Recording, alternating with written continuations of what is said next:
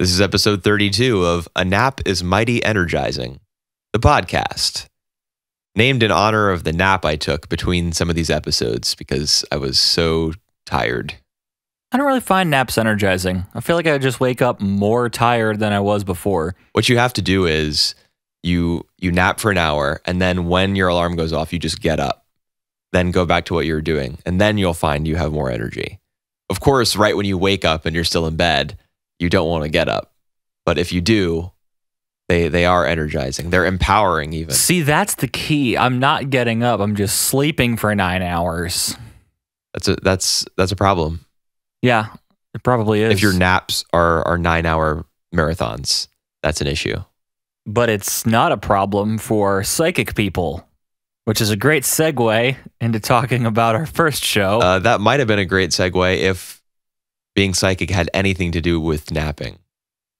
well, they woke up the sleeping daughter two episodes ago, so it had to do with napping. Was she sleeping in there? Yeah. Okay. No. Yes, and then no. It doesn't matter. Let's talk about Mob Psycho 100, episode 6. Are, are we going to talk about it? Yeah, we are. Sorry, I was taking a drink. Okay. Guess In what? this episode, Mob went, he finally went back to school. I was Praise worried he be. was, I was worried he was going to be truant. You know, like he had, we weren't seeing him in school at all. Was he, was he skipping? Was he, was he going over the dark side? No. is it because they didn't light the whole scene? No, he he went back, and it was awesome. It was.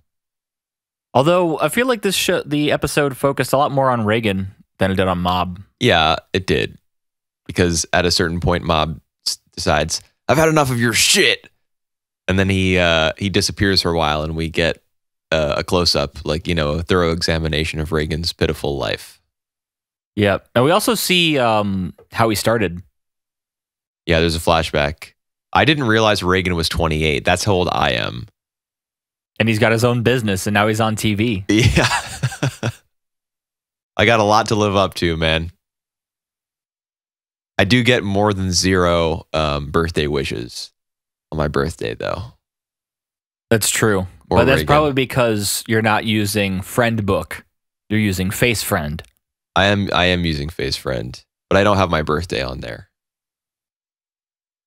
Um, Nice. a few, uh, a handful of people remember that it's my birthday. That's enough for me, as long as it's not zero. as long as it's more than me.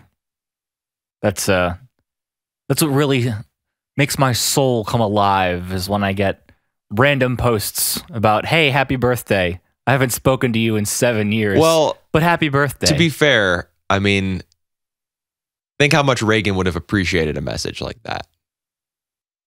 When he logs on to Face Friend or whatever the knockoff is called on the show, and, Friend and he and he he sees that he has zero, um, you know, birthday well wishes.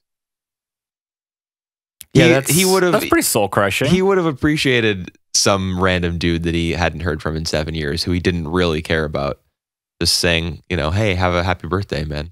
But he didn't really appreciate the uh, the people that don't really care about him, or that do seem to down at the bar. Or the Ponzi scheme people. Yeah, the people who were easy to fall for Ponzi schemes Well- and uh, multi-level marketing. I mean, he looks down on them.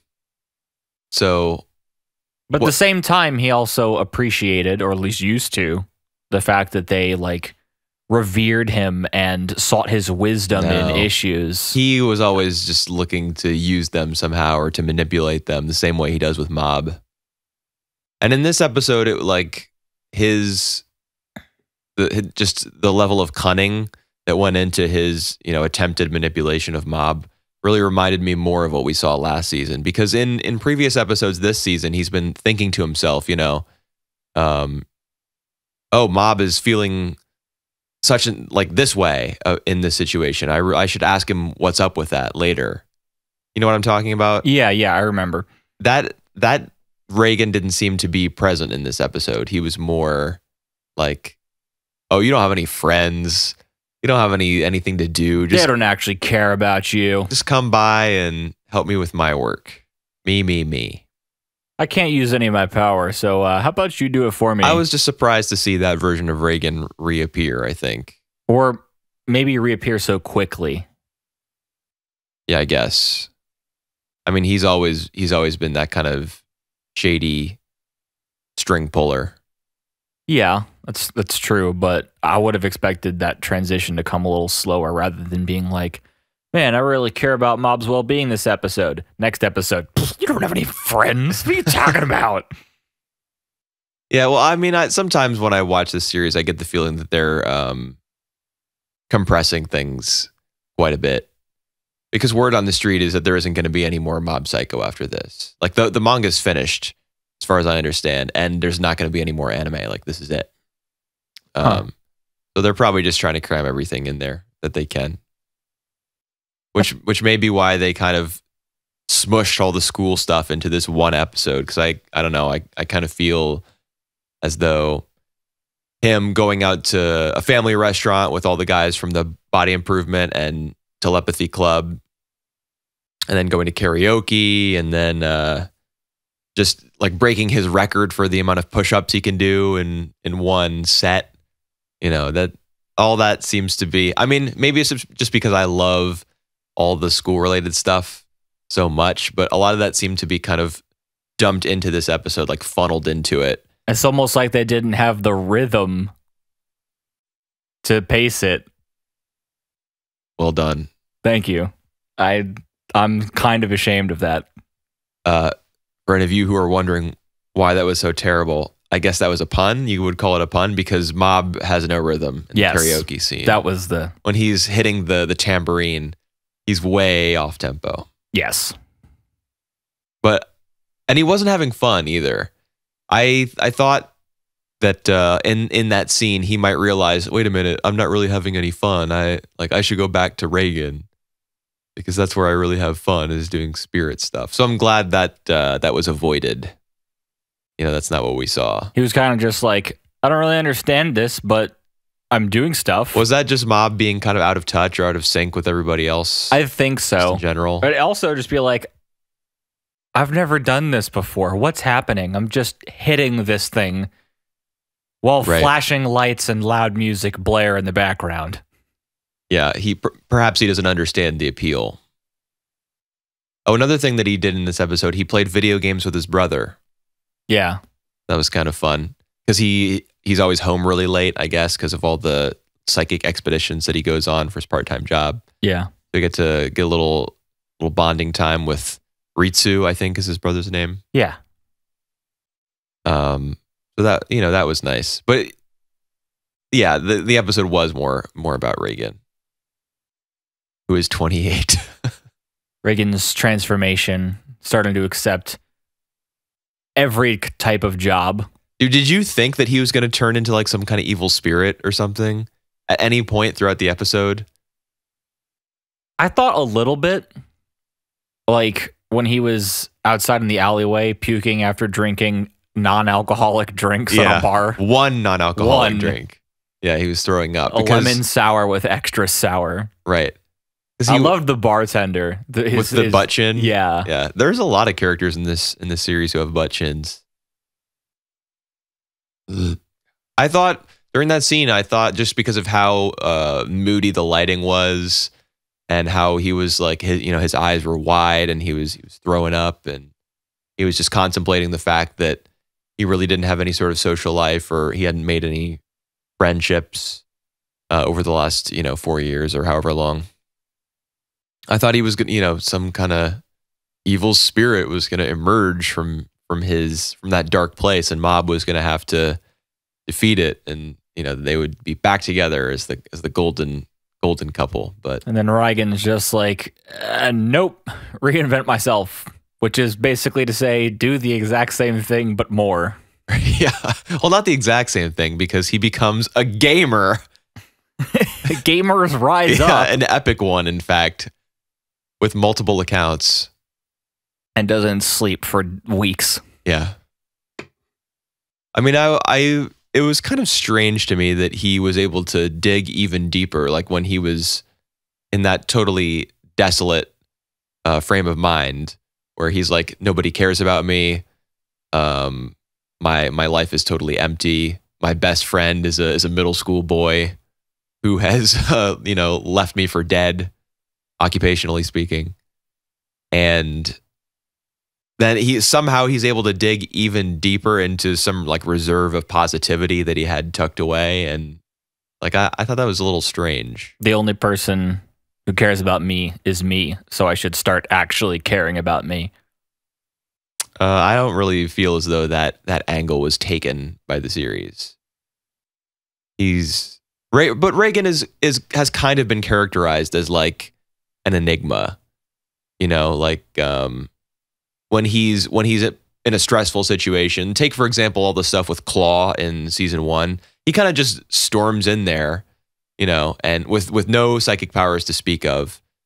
And No he, preparation. and he takes control of this, the situation just um with his gigantic personality. Charisma 100. yeah what did what did what went to 100 in this episode his popularity Yeah, popularity. went to 100 that's how he got the tv appearance which isn't actually what happened. right the what's his face got the tv appearance Yeah, it's um I wrote it down here. jodo kirin That's right. yeah he that's the guy who he uh who he need Who he flying flying knee exorcism. Right. Um so i guess we'll we'll find out what happens with that next week I also thought it was really interesting how uh, so, you know, Reigen tries to manipulate Mob into getting him to help him more and kind of shirk off his his friends or social life that he thinks doesn't exist, and then he finds Yeah. out it does. yeah he sees in person on the street Yeah, and then that he Mob hides. is hanging out with a couple of his friends yeah And that's a really that's a really pitiful scene And Dimple comes up to him and he tries to coerce Dimple into following Reigen around rather than Mob, as being like you'll never he'll never use his powers and you'll never be able to get control of him and just tries to like play on the darker aspects of Dimple's character and Dimple's like yeah, peace, bro. And even he who is like you know Dimple who is very self-serving is just like dude, you're kind of nuts right now and just goes and follows Mob. well reigen has no psychic abilities There's nothing in it for Dimple to to hang around him. Dimple has pulled latent psychic abilities out of Out of Reigen? Reigen before. Yeah. Oh, what, in season one? Yeah. Okay. But not not much Yeah. compared to Mob. He doesn't have the the power that Dimple really lusts after. So he's still he's like have fun being with a middle schooler who will just have a normal life and you'll never get to do anything. And Dimple's like, "All right, peace, bro." Yeah. So I thought that was interesting to see Dimple's character kind of not be as self-serving as usual and trying to like because essentially Reigen wants Dimple to convince Mob for him. Yeah, pretty much. And Dimple's just like, nah. Nah, bro. So I thought that was interesting. Yeah. I do wonder um, if this is the last Mob Psycho anime adaptation that we ever get, when Dimple's like breakaway moment will be. If he just decides, or if he'll just decide, you know, I'm I'm a good guy now, or I'm I'm friends with Mob now, or if we'll, you know, we'll we'll have Mob might have to put him down somehow or something. Because he has remained, you know, lustful for power, but he's done a couple, you know, nice things at the same time. Right. That's why I'm saying if we have only six episodes left to go, I wonder how that'll be handled. Because he hasn't made a complete transition to the to the The to this, dark the, side. the light side. Yeah, that will uh that will be interesting for sure to see if they do anything with that or not. Speaking of doing anything or not, about we talk about Neverland? Doing anything or not? Okay. It's suppo- they're supposed to be terrible transitions. I'm channeling Linus Sebastian today. I don't know what that means, but we can talk about the Promised Neverland if you like. I'm gonna scroll down here. I wrote hardly anything about this series. This episode or this series in general? Well, this episode, yeah. Um, the first half of it was just a conversation. yeah. And then second half of it was just a conversation. This ep- this this show is the one that made me really sleepy, so I had to take a nap. Um, but I don't know. I don't feel like it was terrible. Uh, this this anime might be like you know Death Note for for the kids, kind of. I I don't know. I don't know because that's what Death Note is. Yeah, but I, I I don't know. I mean, like the whole conversation between Norman and Ray just kind of reminds me of the the sort the sort of repartee that you would get between um, Light and L Right. uh, in Death Note. You know the where they both kind of understand who the other one is, um, but they're still cooperating with each other, and they're they're like edging closer and closer to totally outwitting the other one, at least in their minds. Because you know we he it was actually a triple trap, not a double trap, as we suspected last week. He so he nailed Norman nails Ray and says, "I got you," because the rope wasn't actually I you know something Right. something about the rope's location. Yeah, I knew that. Um, and you know, then then Ray spills all of his secrets, or does he? You know, it's kind of like a gi- big old mind game. So this is for for like a younger audience. This might be like really really crazy and tense. It's like they're it's like they're they're like trying to be like, "Yo, look at this 4D chess," and they're actually just Yeah. playing checkers. I, I don't know. I was I was kind of interested in their whole big long conversation because I'm not like I'm not against um really really wordy scripts on uh, you know in principle. I'm not That's- against- that's fine. I'm not against wordy scripts either, or you know, lengthy dialogue. You know, some of my favorite movies are almost entirely dialogue. Um, like Fincher. what Fincher's movies aren't all dialogue. Excuse me, Sorkin. Fincher was the director of The Social Network. Yeah, that's true. But there's still a really important visual component to all of Fincher's films. Right. But in this, I just felt like it's, it's like, you're the traitor. Yes, I am, but I'm actually a double traitor.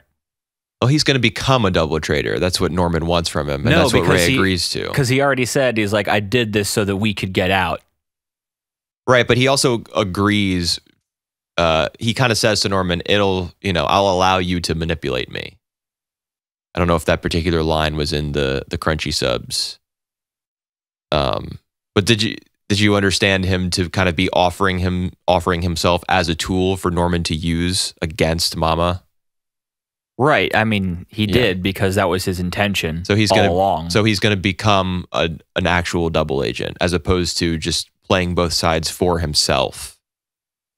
Um, but at the same time, But he's, said he's a his- triple traitor because he's got this deal struck up with Norman where uh, he wants Norman to allow, like, to He's say like- fuck all the other kids. yeah. And when he when he speak when Ray speaks to Emma, he says, "Oh no, we're going to save them all." So he's he's playing both of them. You know, he's presenting two different versions of himself to each of them.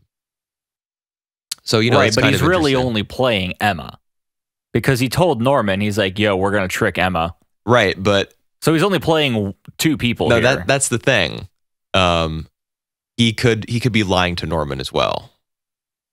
he could, yes. He's in the he's in the theme song. You know, he's in the OP running alongside the two other kids escaping, and then they bust through the little puzzle wall. Um, you know, the, and they're all like looking real happy about their accomplishments and the, like their best friends and stuff. So, yeah, perhaps it is as simple as he's been found out, and now they're all going to work together and shit. I don't think they're going to pull like any more crazy curveballs. Like, it'd just be like, oh, uh, it was a secret agent for the double space force the whole time. Or something like that. You know, they're just gonna. It's gonna be all right. Here's all the cards. Let's You play, really- let's play the rest of solitaire. Do you really think that all you know? We've learned everything there is to learn. About these characters, I think so. Uh, I don't. I don't know. I don't know about that. I mean, when do you think they're going to escape? That's because there was some discussion of that in this episode as well. And I think something you pointed out last week was that um, a little bit of evidence for Ray actually being the mole was that he was so taken aback and so against The time frame change. Yeah, Norman wanted to change the time frame. Yeah, so which he Norman- specifically mentioned. Norman points that out in this episode. That's you know that's why you didn't want us, us to escape in eight days or ten days, whatever it was. So I can't remember whether they reached any sort of uh, resolution on that front. they didn't. Okay. Now, when do you think they're going to escape? According to Norman's schedule or Ray's? Because Ray is offering himself as like a, a source of really vital information. Um, so he might know when the best time to escape is. So do you think they're going to follow his plan at this point? Or is Norman the more powerful one in their relationship? And he's because he knows that Ray is the mole. Well, so does Emma now. Yeah, I, I kind of feel as though Ray still has all the cards. Not uh, not using the card metaphor to explain how much information is being given to the viewer, but using it to describe who has more power in the situation. Right, because he's the He can just tell he can tell mama like they've they know too much, it's gone too far. Just get them out of the picture. He has Right. that option at any moment. Like he can if he senses that something is going wrong or he's not confident in uh, Norman and Emma, he can totally back out and win Mama over completely because she still doesn't trust him fully. right, even though it's been six years. Yeah. He can win her trust completely and, you know, maintain his safety, hopefully, um, by selling them out one last time. So it's really him who, who, uh, you know, is holding the ace, so to speak. Yeah, that's that's true. But I don't know how many more like twists or turns we're really gonna get out of this show. So then you must think that there, the escape attempt is going to happen soon, right? Because if there's no, if there are no more fast ones to pull, no more curveballs to throw, then the only thing left t- for them to do is to try to get out. What episode number are we on? This was five. We're almost a week behind whenever we talk about this series. I think Because I I, think think, new episodes come out on leave Thursday. episode seven. They won't leave next episode, but they'll leave the one after. That's my guess. Okay. I don't really know when they're going to leave. I don't. Uh, we didn't see Sister Crone in this episode at all. Good. she might throw a wrench in things somehow and prevent them from leaving for a while. I don't know. We also know, know why how. she's there Why is that? because uh, Norman or uh, because Ray slipped up. Because he slipped up? Yeah, because he didn't stop people from going to the gate. Oh yeah, and as he explains to Norman, he he did that on purpose. Yeah. Yeah. Oh, I do remember him apologizing about that to Mama. Not exactly. And he's like, You shouldn't have brought her. She's trying to bring you down. Like, you messed up. Hmm.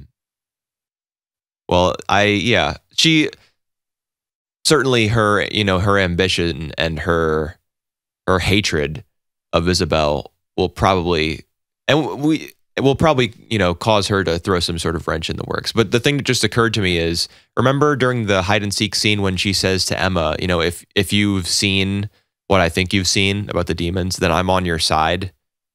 Remember when Emma was hiding with the two little children? yeah, I in remember in that. desert looking area. We still don't know what she meant by that, do we? Uh, well, I think we do a little bit more now that we talked to, now that we saw her conversation with Gilda in the last episode. Because she's like, if you just rat everyone else out, I'll make sure that you live. I see. So you think that she was just referring to the fact that she could keep Emma from being sold off to the demons? Yeah. That would be on your side. Yes. Okay. Well, I mean, hopefully her character doesn't exist just to be, you know, Creepy and creepy weird. like a clown and mildly racist. right. Um Yeah. I I have to imagine that we di- if we didn't see her this week, then she'll play uh, maybe a more significant role next week. Who do you think's behind the door at the end of the episode? Behind the door. Yeah, Don and Gilda are looking for the secret room. Like, hey, don't go into this room. This is a bad idea. Don't go into this room. This is a bad idea. What are you doing, Don? I'm going into this room, even though it's a bad idea. Okay, remember how I said I had to take a nap after this episode? I totally, I mean, I wasn't asleep. I do sort of recall what you're talking about. I remember there was even a map. I think Yeah, Emma Uh, figured out like that there was plan. a uh, that there's like a secret room right. somewhere next to or connected to Mama's office. Well, that secret room is probably where um where she goes to give her reports. That's literally what it is because they've mentioned it. Yeah. And then Don and um, Don's like, we need to go there so we can try to find out where Connie and all the others are. Right, because he was lied to about Connie's. Uh, and Ray is just like, no, d- don't. We don't know what it connects to, and it's probably doesn't have the information we want anyways. So don't do it. so what happens at the very end of the episode? They're about to go into the secret room. They like they pull back the bookcase and they try to oh, open the Oh, right, door there to the secret bookcase. room, and it's locked. And then the door opens, and I'm oh. ninety nine percent it certain that it's just going to be Ray. The, you don't see who it is, Okay. and you don't hear like a voice or a footstep or something. There's no like tease as to who it is. Maybe it'll be Isabel. And those two will like get found out. I don't know. And They're in the they're in the OP. Who are? Don and Gilda. Yeah, but what I'm saying is maybe it'll be Mama and she'll be like, "What are you guys doing here?" And then they'll have to, you know, keep this keep the secret for the other three, even as they get confined to their rooms or something. And then we'll see, you know, some sort of cross examination. Like Crone will be pressuring the two of them, and then Ray will be like, "We got to escape now before they rat us out." And then I think it's just going to be like Ray, just being like, "You guys are morons. I told you not to do this. Let's go." I I think it's just going to be like a okay, like a non cliffhanger, gotcha. just like last week's episode was. It's just like you're the imposter. Yep. Oh he oh. he did deny it Oh. at first. no, he didn't. Yes, he did. He said, "Are you sure?" And then Ray, and then Norman was just like, "Here's my reasoning," and then Ray just went, "Yeah, "Yeah, it's me." Yeah, well, I, I don't know. I thought it was fine. I was kind of interested in the first half of the episode. I, you know, I got a little, little bit of a, a Death Note vibe, like I said earlier. It's not a bad thing. No, it's definitely not. Um, I just thought it was a little too like. It's just like I've been I've been Mama's spy for six years. I knew exactly how to get rid of the tracking devices. I've been doing this for you guys the whole time. That's. I don't think. I don't know. I, I think that's fine. I don't feel as though that's any different than, uh, than L, you know, approaching Light after their tennis game and saying, "I'm pretty sure you're the killer." Just you know, laying it all out there. Right, but what if what if Light had just gone, "Yep, it's me," right That's- afterwards? That's that's not what I'm saying. Right, I, I understand what you're saying, but what happened immediately after in Neverland was Ray just went, "Yep, it's me." I, I I think that's fine. I think there's probably more more um more information that we don't have access to yet. We'll see. All right, how how about Kaguya-sama? We got relationship advice, volleyball, and umbrellas. Yeah, this was the first episode that I didn't love. Really? Yes. I really Um, liked the volleyball uh, section. I think that was my favorite. The volleyball was my least favorite. Really? Yeah. I thought it was hilarious. It was it was pretty funny. Um but we already know that the president is um he's like mostly an academic guy and he's he's into studying. Like that's his whole that's his whole thing. That's how he attained the, the presidency of the student council. Right. Um is just because he throws himself completely into into studying and such. And we already know that he's a dork. He's like a he's like a bit of a nerd. We already know that he's somewhat vain. So I don't think we any we gleaned anything new about his character. Um, I mean, that being said, it's still kind of funny that he keeps hitting himself in the face when he or in the like the back of the head In the back of the head, in the side of the face, in the actual face. Yeah. uh, when he's serving the volleyball. And the uh, for me the the best part of that second segment was uh, at the very end when Fujiwara has like The bandages on her bow. on her boat. Yeah, and Yeah, all over that's her. really cute. Um, but that was just I like the other two more, I guess. okay. So, which of the three was your favorite? I don't know. Um, maybe Fujiwara probably the third one. The third one, the uh, the umbrella. yeah, just because like that that seemed to be the very traditional uh, Kaguya-sama chapter, I guess, where it's about something very simple, but the, then the two of them are are trying to outwit the other, and in the end, you realize, of course, that Kaguya has her level of planning is second to none. She's, you know, she hung the. I noticed in the subs that I was using, it didn't say Teru Teru Bozu dolls, um, but in addition to her like checking the weather report and checking the bike rack and blah blah blah, she also she also made Teru Teru Bozu dolls, which are a Japanese, um, uh, I guess tradition where if you if you want there to be uh, rain, you hang them upside down, and if you want the rain to go away and for there to be sun, you hang you hang them right side up. They're those little cloth things with the faces. And Oh they yeah, look like little ghosts. I saw this. Um, that's what they're that's what they're called. So when she hung them upside down, that means she wanted it to rain. So you remember how like in past episodes we've seen her.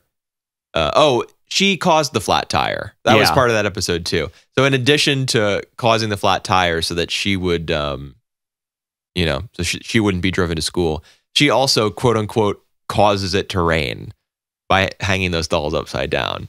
Yeah, she just takes every variable out of the equation. Right. Except for Fujiwara. Right, exactly.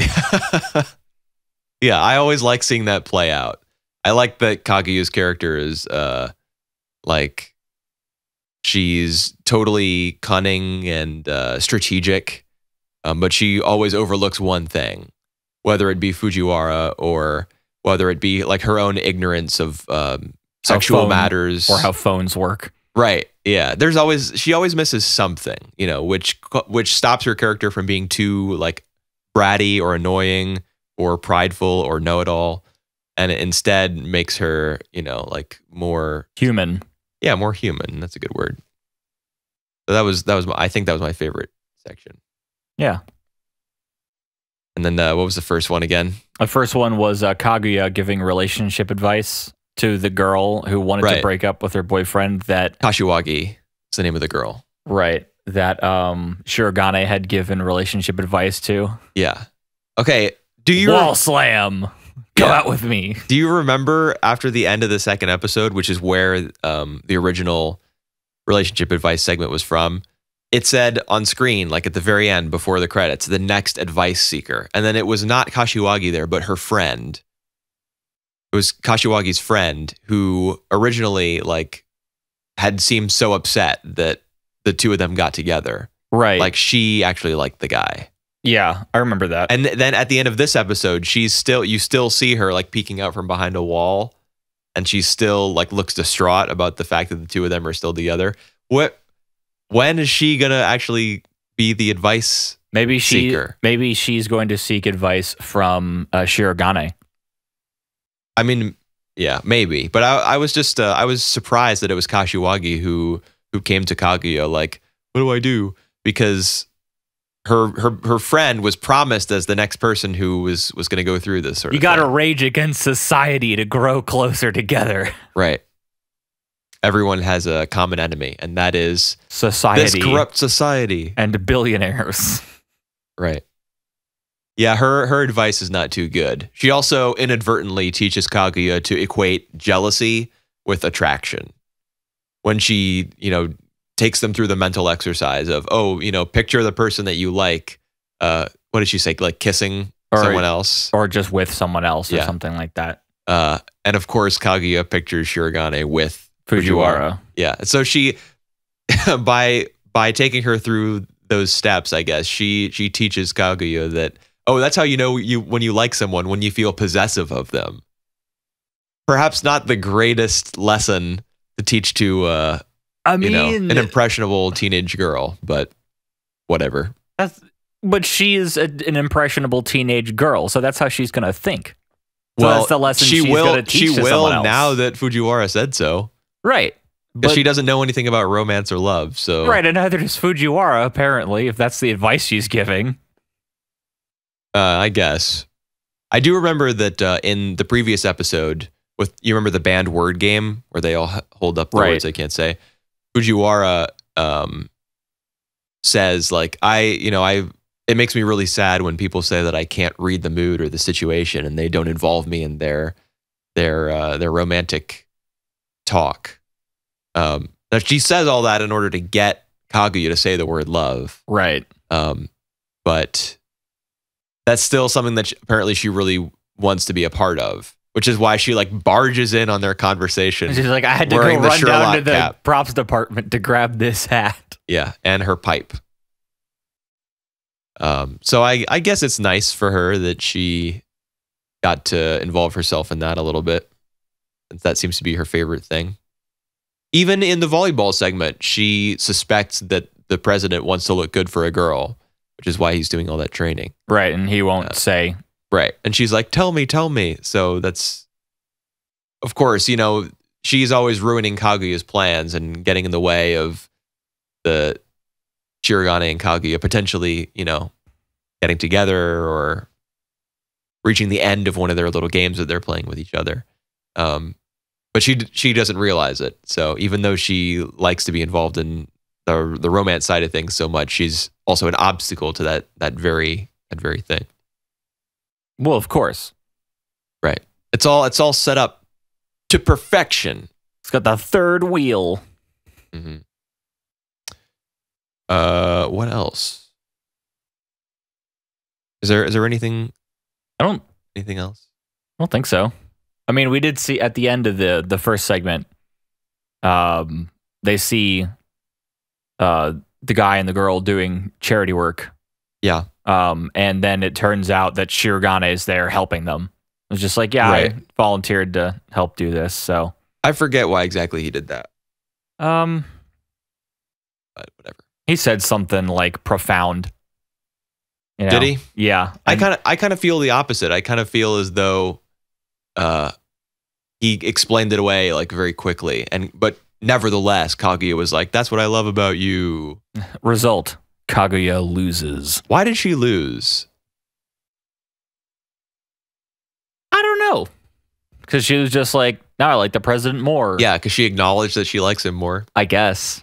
I guess that's What a, what a terrible lesson for young girls out there. this whole show is a terrible lesson for young people. Anime is terrible for young people. Anime is terrible for people. Anime is terrible. Anime. All right, are we uh so yeah, so I said that this was my least favorite. I, I kind of feel as though every all three chapters here, we we went back to the three chapter format after kind of venturing outside of that last week. right. And in addition, all three of these took place on campus. Um, you know, Except the- for a brief segment at the end of the first. yeah, I guess. Wait, was that not? Yeah, I guess they were in front of like a mall. yeah, they or were in something, like the just in city, center Yeah. doing. Yeah, but they were stuff. all by and large they were all set at the school. And Yeah. over the past few weeks we've been kind of, you know, like moving away from Shuchiin Academy a little bit. Um but they went back to it this time. So, I mean there's there's nothing really wrong with that, but the show has been messing with its formula like tweaking it a little bit every every week and uh, they seem to hit the hit the reset button a little bit with this one.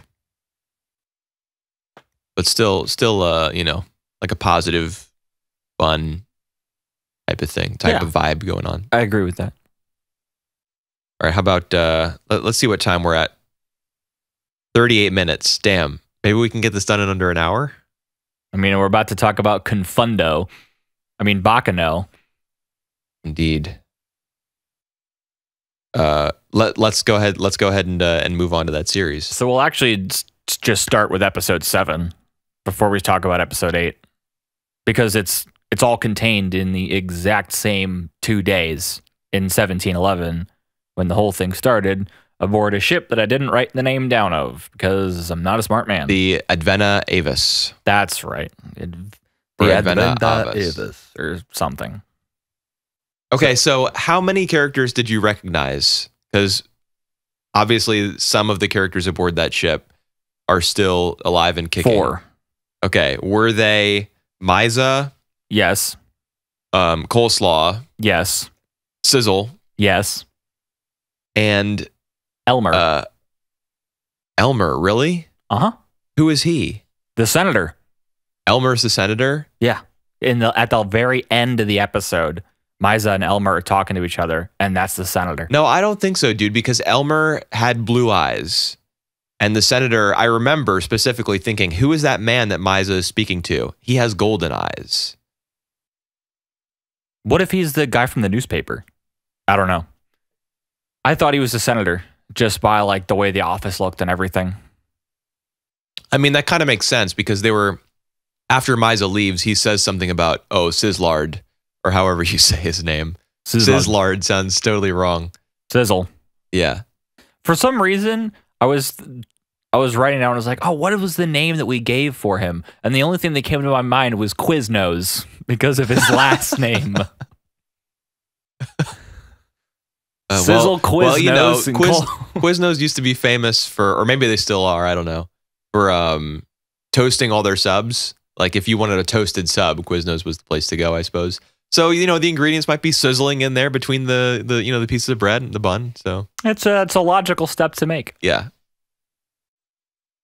Um. Yeah. I mean, it's possible that he's the senator. It kind of makes sense. But I was I was just looking for physical similarities um, between the you know the characters in the 1930s, where most the bulk of the show is set in the in the 1700s, and he didn't have the right eye color. Um, so then I thought about characters that it could possibly be in the present. Ladd Russo. I don't think that Elmer is Ladd Russo, but they both have blonde hair and blue eyes specifically. And there was one other character. Um, who I didn't write down, I guess. What about um Nick? Jacuzzi's friend, Oh yeah, the blonde hair. We don't see his eyes. They're typically kind of screwed shut, like an anime He's style. Brock. Right. Uh, it could be him. It could be the guy from the newspaper, the blonde guy. Yeah, Um, there aren't that many blonde characters. I mean, there are there are those that we just listed, Right. Plus, probably a couple others we're not thinking of. Um, I don't know. I, is a blonde. I feel like it's the senator, just because Yeah, of how maybe. much the senator is involved with everything. That's kind of weird though, because the senator is uh, very. He seems to be a, be a very cold, calculating, self-interested character. Like he doesn't particularly care that his wife and daughter are aboard the train. If they lose their lives, so be it. Yeah, but maybe that's like his sixth wife and daughter Yeah, that's po- it's possible. because he's two hundred something years old at this point. Right. It would be interesting to see how much characters have changed. Obviously, the potential for change over centuries for an immortal um, It's quite large. exists. Yeah. Um, I definitely but took but it- his his character did seem to be like the most righteous amongst all the the passengers on the ship. And maybe righteous isn't even the right word, but he seemed to have like a very positive, sort of easygoing um, philosophy. It's like, there's still more than a zero percent chance that we can change his mind. Right. Um, and he's given that one wish by the by the devil. We have no idea what drowning. it is. Right. I kind of feel as though that character might be the rail tracer. Elmer might have turned into the rail tracer if he's not the senator, because like he he would need extraordinary power to become whatever the rail tracer is. Um, and he's singled out as someone who gets one wish, like one additional wish, um, from this devil character. Although you know, thinking about it, the rail tracer could be that guy with the dark hair and the ponytail who's up in the crow's nest Right. um, and who, like, who the we'll- demon seems to have some sort of like shared outlook on humanity with. It's like we'll have more opportunities to converse in the future. Yeah, it could be could be him.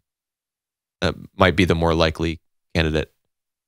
Um, okay, so you saw you saw four characters. Yeah. Uh, who are they again? Miza, uh, Czeslaw, Sizzlard, And Elmer. and Elmer. Right. I spotted one more. Gretto. I think he's Jacuzzi. Gretto? Yeah, the one who gets devoured by Sizzlard. Then how is he alive? That's my question. But I'm pretty sure that was Jacuzzi. Wait. So we know there's a homunculus. What do you mean? We know that Sizzlard managed to create a person, Ennis. Ennis, Yeah. who's a homunculus. Right.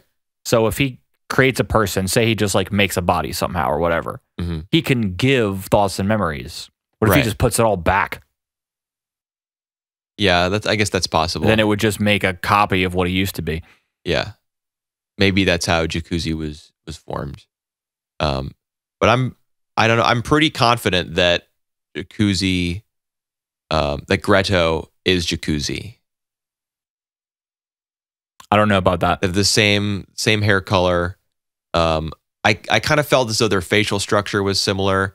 And Jacuzzi has like he his um the performance, like the voice performance given by his Seiyu, his his voice is kind of broken because he's he's really emotional. He's like constantly on the verge of tears, which kind of masks his voice.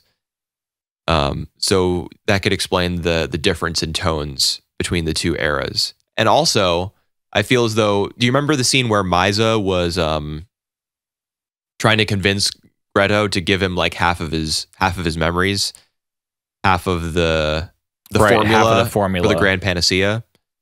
Um, and he was like, he was saying, no, no, I, I couldn't do that. I don't deserve it. Like, he just reminded me very much of Jacuzzi in that moment. He just seemed to be, um, he lack lacking in confidence and um, really emotional. Yeah.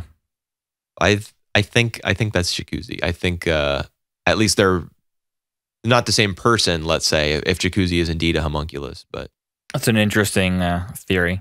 I don't know if I subscribe to it, but I see what you mean. So I was trying to figure out who Sylvie, his, um, I couldn't tell if they were lovers or brother and sister. The girl. Yeah. I- Um, I, I guess they were like in a relationship of some sort. yeah. I was trying to figure out who Sylvie might be. And I, I thought to myself, well, maybe she's niece. She didn't drink the elixir. She we know she has it, but we never saw her drink it. I, I think we know for sure that she drank it because there's a there's a very short um, series of scenes where we see a bunch of characters from the ship who are living in modern day New York. Like it cuts to them one by one, and we see like a lounge singer with short white hair. Oh right, okay, yeah, So I remember her. what you mean. Oh, wait a minute. Now that I say that, that can't be Nice because we know that she is a lounge singer in New York or wherever she ended up. right. So I think she did drink it. Um, but because we we see her in the present, or I I think the show means for us to infer that that's her in the present, but it's it's not Nice, I guess. It's not nice. Right, but that's how her name's spelled. But the characters say Nice when they talk to her, when they when they say her name. Oh, okay. from what I remember. Okay, so those four characters for sure, plus, you know, maybe Jacuzzi. That's my crackpot theory. I feel as though there were more, maybe. There probably are, but we A might not have seen them, or B their appearances have changed so much that we just don't know what they look like anymore. Right. Now here's here's the one thing that uh, makes me think that there are no other there are no other characters who are still alive that we've seen so far. Is that the demon, the devil, whatever that Misa communes with to get the the formula for the Grand Panacea? Right. um, the devil says specifically um, anyone who anyone who drinks it can't use false names. Um, right. They have to use the correct name just so you can guys can identify each other across the centuries. right. Which, by the way, can I just say that this demon that puts out all of these Oh. hyper convenient rules for the show, Yeah. like, all right, um, so you can absorb people and gain their knowledge and give it back, and you guys can't change names. What's the matter with that? What? What sort of deity that gives this ability to other people just goes, hey, no change in names It's and start absorbing people? It Th- just it's, think about the Garden of Eden, dude.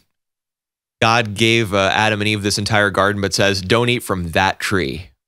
Right, but it didn't say, all right, now your names can't change and you can absorb people's knowledge. No, but there, I it, think it just it felt like one the demon just like outlines it just like here are the rules la di dee dee do I don't- just it felt really like expository and just like that's not that's not exposition. That's Well- that's well, that's explanation. Right but it was it it just explained it's like all right so here's how this connects to the future I think there's a long-standing tradition of supernatural series having a bunch of rules that are imposed on the characters. They need to be explained in one way or another. Think about Death Note to, to make another Death Note reference. Ryuk has to explain in detail how the Death Note works to Light before he begins going on his killing spree. Like you, if you're gonna involve yourself in, if you're gonna create a series with a bunch of immortal people who can like literally consume others through their through their right hands and and stuff. You need I don't know, somebody needs to explain it. And all the better to explain it in an episode whose job it is to go back to the beginning. What I think would be interesting is does this show work without knowing what happened on the ship? Um If you removed every scene from that ship, does the show still make sense? Yeah, I I mean I I haven't seen the whole thing, so I can't say for sure. But I think I it, think so. I think it probably would. Like Which is you, why I you just wouldn't grasp the the magnitude of the um the conflict between Misa and Sizzlard. Because it's re- I feel as though really it's those two who are at the center of this whole power struggle. right, but we have never we haven't seen them face off at all Right. but in the I, future so I far. feel as though we probably will, right. We- especially since we've seen this episode here. Probably, but I think if the show holds up without that episode, then it wasn't needed. Maybe. Maybe.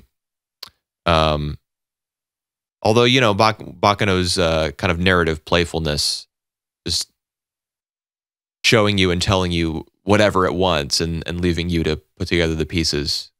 Well, I mean, yeah, maybe maybe dedicating an entire episode to just this one this one moment in time, like only a couple days, kind of goes against the the spirit of that uh that like that thesis. Yeah, Because the rest of the show spans three years, and then all of a sudden we jump back 220. Right. Well, this uh this series was based off this based on rather um the show was based on a series of light novels. So perhaps there was like one light novel or one section like one um, lengthy section of one of these novels that detailed what happened in 1711. Right. And as it's an adaptation, they wanted to include that. I don't know. Um, yeah, may, maybe it would function perfectly, perfectly fine, or even better without this chapter. But I, all the same, I was interested. You know, I like um, origin stories.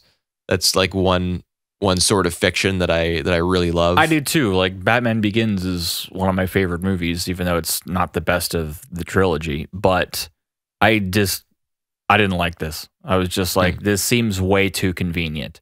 See, It just it didn't feel like an origin story. It felt like an explanation for everything else. Rather than being like, oh, this is how this came about, just be like, oh yeah, they're just trying to explain the rest of it. That's what it felt like. Okay, I can't say I had that reaction. I was I was mostly interested. Okay. Uh, so move on to episode eight here. Uh, should we? Is there anything else to say about? Oh, I I did have one one short uh thing that I wanted to mention.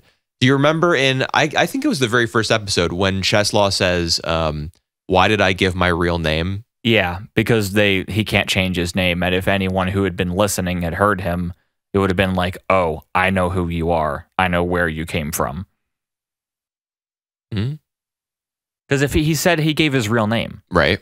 And, And- he, and he thought to himself, "Why did I do that?" right? Because he knows that if another immortal happened to be on that train and was listening, they would know it's him because Yeah, he can't change his name. But you're you're saying he knows as though he made a conscious decision to give his real name. No, I mean he knows he's like I shouldn't have done that because But even that doesn't make any sense. Why would he think to himself, I shouldn't have done that when he was on the, the ship and he knows he can't give a false name? It's not even possible. Why, a- why would he think that to himself? I don't understand that. Maybe eh, like did he forget what the what the devil said? I don't know. That's a good point though. Yeah. That that just struck me as like, Like an you cannot bear a false name. Why did I give out Yeah. my real name? Yeah, I don't I don't really I don't really get that, but Maybe he tried to give a false name, but he Yeah. couldn't. It could be that like you can have the intent to give a false name, but it won't pass your lips. Like it'll be it'll be the real thing. Um Yes. Anyway. it's, it's interesting. I hadn't thought of that. Yeah. Uh the the guy with the long hair on the on the ship. He was Yeah. kind of wearing like a blouse. I'm sure it was a normal like normal attire for for men back in that time. Yeah. Um but he had the long hair. I kind of feel as though he's a character who we know in the quote unquote present. Um and his like his face was masked by his hair. so that we wouldn't know who he is. Yeah, like that could have just been a, a decision on the part of the character designer or the author who originally wrote him as having that long hair during that time period. Hmm. Uh, so I, I tried a little bit to figure out who that could be, but I I don't know who. I even thought it might be Isaac, but probably not. Yeah, I kind of doubt that. Speaking of Isaac, We got an Isaac and Miria episode again. did they have another episode that was dedicated mostly to them in this fashion before? Yeah, I think so. Huh? I, I really I really don't. The first time that we saw them when they were they had like that giant time skip and everything like that. That Oh, I mean, it was the first nine minutes, so that was like Yeah. a, lar- a large portion, but it wasn't the whole episode. This is the first Yeah. time we've had essentially whole episodes dedicated to one specific either people or time. Right. We did have a lot of emphasis on Ladd Russo, I think, in episode four, maybe, and then Jacuzzi in one of the one of the episodes, either five or six last week. Excuse me. Had a lot of time on screen. Um, but yeah, this was all about Isaac and Miria. Like the title of the episode, I think, was Isaac and Miria unintentionally spread happiness wherever they go. Something like that. Um, and we saw them in three different time periods. Um, one with Eve, Yeah, in the in 1930, I think, when Yep. they they rob her her house, in order to stop her from being sad. right? Which is what gets the feds on their tail, as we see at the very start of this episode, kind of as like the you know the intro. Uh, Chief, is this a joke? No, no, it's not. So one with Eve, um, then we see them like trying to cheer up Jacuzzi because of course he's Always crying. yeah always crying, always Tells him a story about three Chinese warriors. the something about the three kingdoms. Yeah. Did you notice that they said they're often uh, symbolized by the snake, the snail, and the frog? That remind you of anything? The snake, the snail, and the frog. No. The Sannin in Naruto. Oh, yeah. Yeah. Um, and then the third character, time period, whatever, uh, was with Ennis. That was the aftermath of her saving them Right. from Dallas and his goons. Um, and you know, she's she's like she says something about bear, contemplating the weight of her sins, and they're and they said to her, you know, just just uh You've done one good thing. yeah, that balances it all Balances out. everything out. and that's kind of their that's kind of their message to all of the characters. Like if you're if you're going through a hard time, if you're if you're sad or if you're convinced of your own you know your your own worthlessness or your own sin or whatever term you want to use whatever situation um, applies just uh just be happy just do something good just try your best you know and it'll it'll all it'll all balance out. Um so they're you know they're like the if there's a, a scale of of characters in Baccano they're like the on the highest end of the the moral spectrum i suppose. It's not very high. yeah i guess. They're guess- thieves. They're like literally wanted by the fbi They're not exactly the. uh I guess no character in Baccano is really like, you know, good except for Eve. yeah eve there's there's got to be another right They're all gangsters. maybe yeah they're not good people. Yeah, but isn't there isn't there somebody else? What about the um the well, no. I was going to say the people at the very very beginning of the series, um the professor or the the vice president of the Daily Days speaking to that girl, Rita was her name maybe? I don't remember. Okay. I was going to say maybe well, you know maybe that girl is she could also be another innocent. Um but She's also not a title card character. Right. But and she also works for um, a newspaper, which is just a front for an information gathering organization whose members all carry guns. Right. So they So- can extort money from people for information. Uh, no, I don't think that's the reason. I think it's just for safety because they know that you know gangsters are going to be in and out of there. right. So they're not having uh, the, the most legal of businesses. Yeah, so she Rita or whatever that girl's name was, she's probably not uh, untouched. Just Eve, I guess. So far. I'm kind of curious about because the everything that's happening on board the Flying Pussyfoot is happening in 1931. Is that right? Well, yeah, it's one train ride. Yeah. So I'm I'm curious about what's going on with Eve. Like, why we're we seeing so much of what's going on in 1932? I wonder what the purpose of that is. How it's going to tie back into everything else, and why Dallas is still being pursued. We know that he leaves behind the immortality stuff in 1930. Did we figure that out? Yeah, that's Last week. 30. So why are people still after him? I wonder. I don't know. Well, I, I mean, I have to imagine that that's going to be cleared up at some point because we do spend so much time. There are so many characters who's who spend screen time talking about Dallas and looking for Dallas, and then we get a whole bunch of Eve, and even when we're just focusing on Isaac and Miria's random antics, some of it, you know, centers around that family. Yeah. Um, We also saw um, at the end when Eve escapes after everyone's asleep, one of the not the Genoards, but the Runoratas like looks out the door after she leaves and it's just kind of like meh and closes the door and Yeah. just lets her go. it's the guy with the glasses. I think he's the one who's always snacking. Yeah. Um, I'm inter- yeah, I'm kind of interested in like what his deal is because we saw him aid in the um, the kidnapping last week, Yeah. but at the same time, he also lets her go. I kind of I kind of feel as though in that scene he he yeah, like you said, he goes maybe not even meh, maybe he like Just like just wants that to happen and Yes. just kind of just lets it go. Maybe he's gunning for the guy above him's job. Just doesn't like him and wants him to get or he could be like an immortal. And he has a much bigger role in the story than we can understand at this point. It's hard to say with this show. Yeah. He's Maybe he's the guy with long hair. maybe. um, or maybe the guy with the long hair is hair is the rail tracer. Tracer. I yeah, don't know. I noted that that Eve was allowed to escape by that guy. Um, Yeah. but it's it's interesting to you know to ponder the fact that he helped to kidnap her and now he's he's letting her go. Maybe he um, has a connection at that um, the newspaper at the information brokers. Right. And they didn't want to give out that information. So he's like, well, at least I can fix this. Kind of. Right. Yeah, yeah. Because it was their fault that she got kidnapped. Right. Nicholas or, or whatever his name is. Um, I, I can't remember. But he he lets it spill to um, Gustavo, big deep voiced guy, Right.